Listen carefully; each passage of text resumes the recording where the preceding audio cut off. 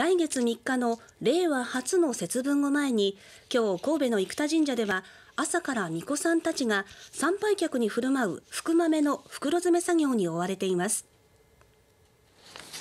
節分は季節を分けるという意味で立春、立夏、立秋、立冬の前日を指し1年に4回あります。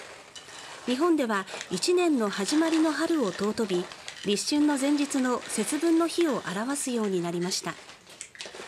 節分の日の豆まきは魔を滅するということから豆津が豆に変化して室町時代以降に豆をまいて秋を追い出す行事へ発展したと言われています。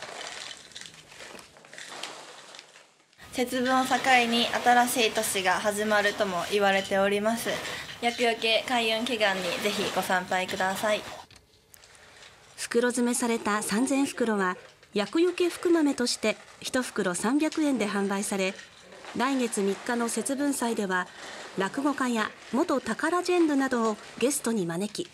午後2時から福豆およそ600キロ2万5000袋の福豆で豆まきが行われます。